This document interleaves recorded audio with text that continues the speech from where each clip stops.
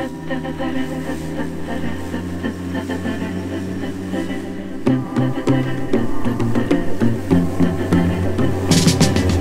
there, I'm Allyn Hane, the Lawn Care Nut. Welcome to my postage stamp. So this is the beginning of a series that I'm gonna run all year, and it's not gonna be a consecutive series. It'll be one that's kind of broken up during the year, but I'm gonna show you step by step by step how to set up a program for a super small lawn, what we call postage stamps. And I love postage stamps. You guys know I talk about them all the time. Used to love treating those little tiny lawns all throughout Chicago. I've got what I'm gonna call a simulated postage stamp here in my backyard. It's a 1,000 square foot area here fenced in. And so it simulates a postage stamp. And in fact, even those of you with larger lawns, maybe you've been a little bit apprehensive to start a full lawn care program. Well, why don't you pick a postage stamp and work on that? Only risk that small area. You only have to manage something that you know you can handle learn from that, and then move on to bigger things. So see, everybody can play with the postage stamp program. Now this series is gonna turn into a whole lot more because I've got my back patio here that I got plans to do some things with. This Royal has come in so nice but I've got just so many things I can do up underneath here. And then these Bougainvillea, uh, I'm glad that they're coming out like this because they're showing me where the sun is and what they want to do so I can shape then. You can see this could be like a real Gilligan's Island looking thing up over by here. So you can see we have a lot of possibilities back here decorating this postage stamp more than just the grass. But for right now, let's go ahead and focus on the lawn. And the first thing I wanted to do was get the soil tested. This, you guys that watch the channel, you know I ignore the back lawn. And uh, so literally this has had absolutely no applications of NPK, micros, biostimulants, nothing like that at all for one entire year. The only thing it's gotten is a little bit of weed control. So before we review the results and set the strategy, let's go back and show you the test. The Yard Mastery Soil Test is what we'll be using here. If you click the link in the description below, we do sales all the time. Right now we're running buy one, get one half off for a limited time.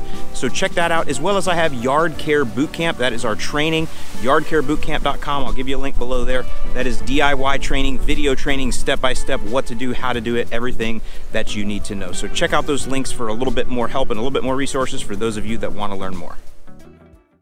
All right, so here we go. So you're gonna open up so you do not want to lose this. This is your instructions, of course, but also this has your registration number on it.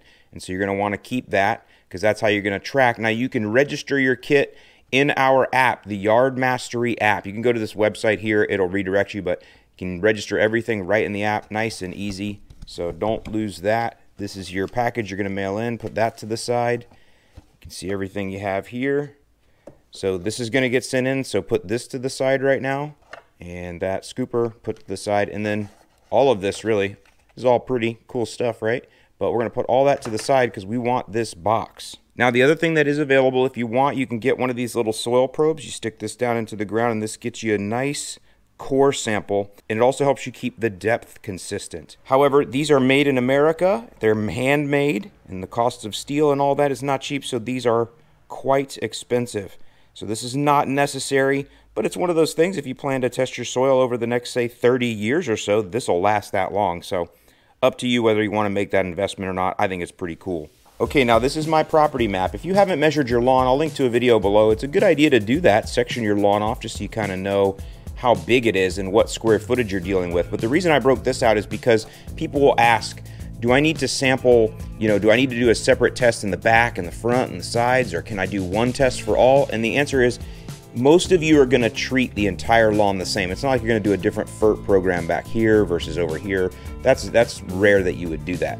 If you are going to do that, if you're going to treat the front different from the back, then yes, a different test in front and a different test in back.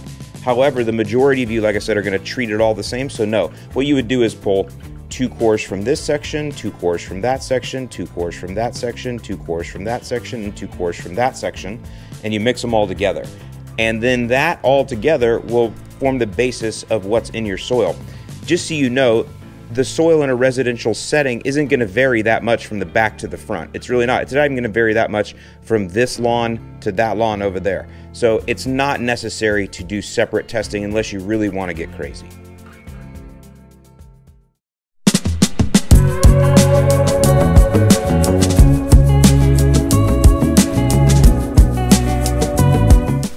Okay, so here we are in my neglected backyard, St. Augustine grass. Listen to this. Oh, that's nice. Anyway, so you want to get down in there, you can feel Now you can see my grass is cut very tall. so most of you, if you have different grasses, is not gonna be the case. That's just now getting into the soil for me. But uh, anyway, so I'm gonna push that down in there, get it all the way down in, give it a little twist. And again, if you have uh, different grass, it's not gonna be so difficult, but there you go. I got the, I got the soil all the way up to right there. It's gonna give us a good, good sample.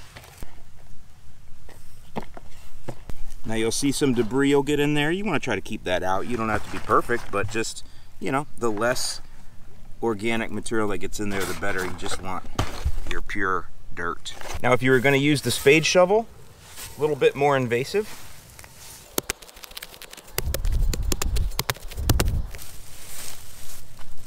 Now again, you can see I'm dealing with a very aggressive warm season tropical type grass here.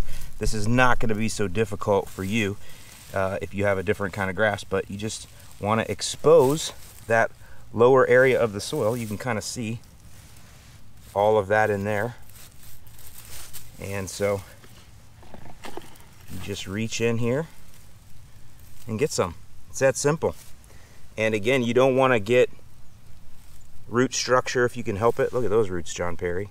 You don't want to get root structure if you can help it, so try to keep it clean, keep the stuff out, and then put it in.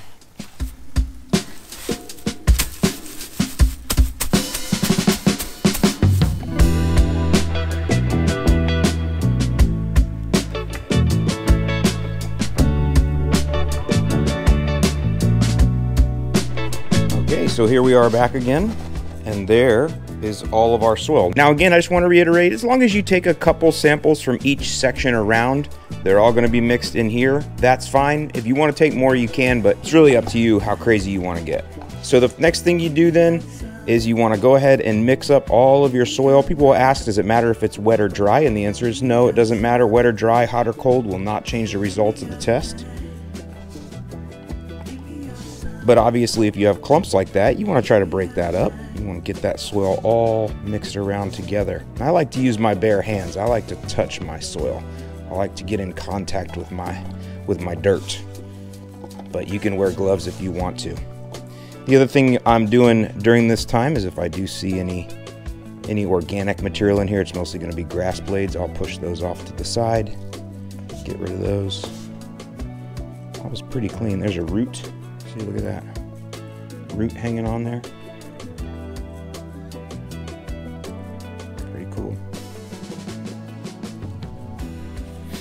Got a lot of roots in mine.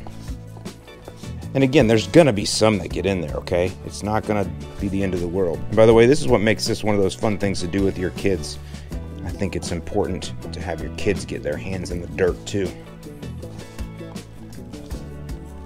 Okay. That looks pretty good. Okay, now here's where the magic happens. We're gonna open up our...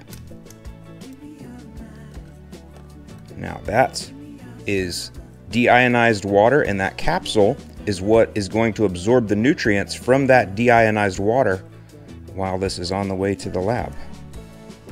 So the scoop here that they provide, this is how much dirt you want.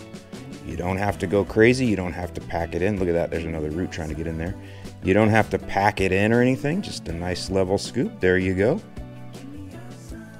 Put that in there. Look at that. That is nice.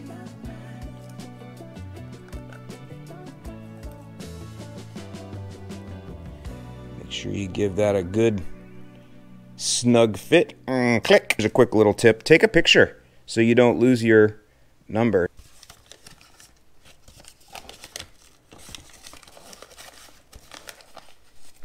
Of course, this is a little touch I add for the boys at the lab.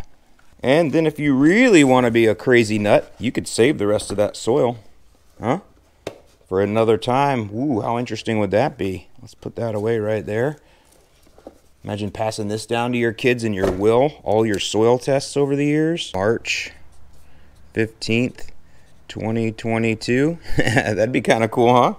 Keep that. Listen, I'm not that crazy. What do you think? I'm going to make this soil stay locked up in solitary confinement for the rest of its life? No way, man. Live, microbes. Be free. Hey y'all, we're getting a little rain here. The lighting in this video has been terrible, I know, but I just want to say one thing. When you uh, send your test off, go ahead and register it right away. Register right in the app there. You don't have to wait for the test to come back. And then once the test does come back in about six or seven days or so, you will then see the results show up right there. So I'll give you all the links below though. Now, in the next installment of this video, I'm actually gonna show you how I choose the fertilizers to use based on that soil test. But if you wanna get ahead, I have a full guide I've written for you probably one of the most comprehensive free guides that I have. I'll link it below, and it talks all about setting up a strategy custom based on a soil test. So you can actually get ahead, you can learn a little bit. So when that next video comes out, won't be very long, maybe 10 days, couple, two, three weeks at the most, we'll be out, we'll setting up a strategy over here, seeing what we can do to get this backlawn, this postage stamp, under control. So hope you guys have enjoyed this video. Thank you so much for watching. Leave me a like, leave me a comment. If you have any questions, we'll put those below, and I'll see you in the lawn.